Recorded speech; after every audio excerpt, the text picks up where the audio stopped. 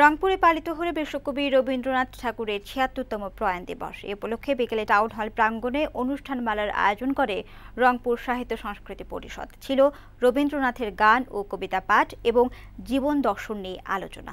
অনুষ্ঠানে পরিষদের সভাপতি সাংবাদিক আফতাব হোসেন, জেলা পরিষদ চেয়ারম্যান অ্যাডভোকেট সাফিয়া খানম, বাংলাদেশ বেতারের সাবেক আঞ্চলিক পরিচালক মানোয়ার বেগম, অধ্যাপক আলিমুদ্দিন, অধ্যাপক মোহাম্মদ শাহ আলম ও পরিষদের সাবেক সভাপতি ডাক্তার মফিজুল ইসলাম মান্টো উপস্থিত ছিলেন।